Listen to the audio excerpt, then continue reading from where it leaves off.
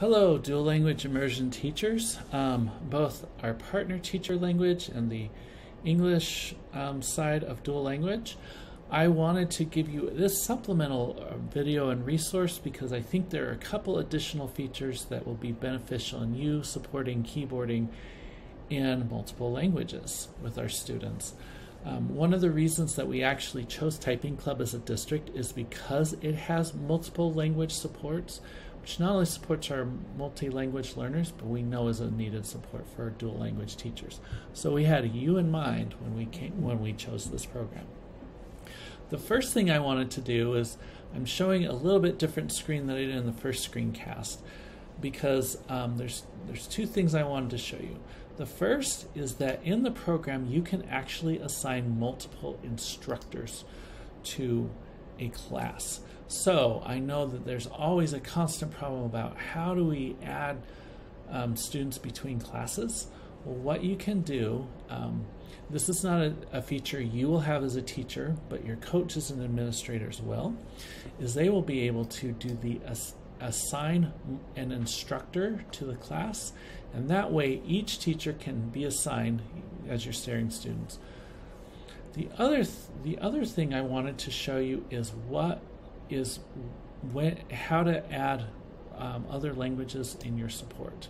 So when you go to assign course, just like we did before, everything's there, but you'll notice English is one choice, but we have Chinese, English, French, and Spanish. Obviously, we have other languages. Um, those would probably need to be supported on an individual student basis. But let's say I chose Spanish. It will pop up and show you the languages, uh, the courses that are available in Spanish. Um, Chinese, there's only one course available, and I believe it's either fourth or fifth grade that you start with that. But starting in second grade, they will have the opportunity to do this in Spanish. Um, in Spanish, in particular, there are two choices. There's Español de España, and there's Español Latinoamerica. If you look in the curriculum map, and it's been reviewed by our DLI team, Latinoamerica is the one you would use because it has the accents that will be more common for our students. But also, um, you'll notice that there are, the, there are these stories. I chose specific stories so that you would have the same story in English and Spanish and French. Chinese does, unfortunately doesn't have those. Um, but you'll be able to add those courses um, depending on your grade level as well.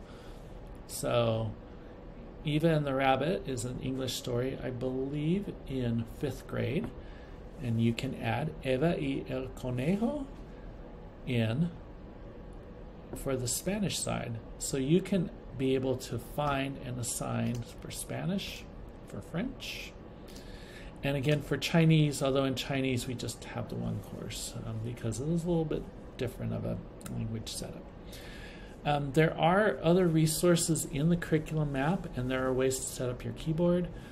But um, anyway, I hope this is helpful and um, and I'm glad that we were able to get a program that will support you and the multiple languages that you support as teachers. Thank you.